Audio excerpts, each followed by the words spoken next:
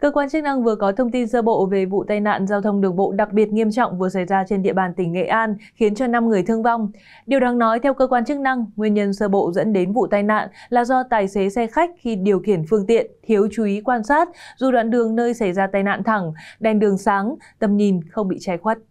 Thông tin từ cơ quan chức năng tỉnh Nghệ An cho biết, khoảng 3 giờ 30 phút ngày 19 tháng 7, xe khách biển kiểm soát 29B 606 lưu thông trên quốc lộ 1A theo hướng Thanh Hóa Nghệ An. Khi đến địa phận khối 12 phường Quỳnh Xuân, thị xã Hoàng Mai, Nghệ An, thì xe khách xảy ra va chạm với xe bồn biển kiểm soát 37R04 chở bê tông. Thời điểm va chạm trên xe khách có 42 người, trong đó xe bồn đang dừng đổ ở mép bên phải lề đường để sửa chữa. Cú va chạm mạnh khiến đầu xe khách biến dạng hư hỏng nặng phần đầu, đuôi xe bồn bị móp. Vụ tai nạn khiến tài xế xe khách tử vong tại chỗ, bốn hành khách bị thương, số người còn lại trên xe khách đều an toàn. Nhận được thông tin, lực lượng chức năng thuộc Công an Nghệ An đã nhanh chóng có mặt phân luồng giao thông, bảo vệ hiện trường, đồng thời hỗ trợ đưa các hành khách đến bệnh viện để theo dõi, kiểm tra sức khỏe.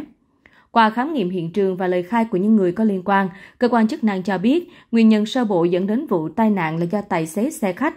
khi điều khiển phương tiện theo chú ý quan sát dù đoạn đường nơi xảy ra tai nạn thẳng, đèn đường sáng, tầm nhìn không bị che khuất.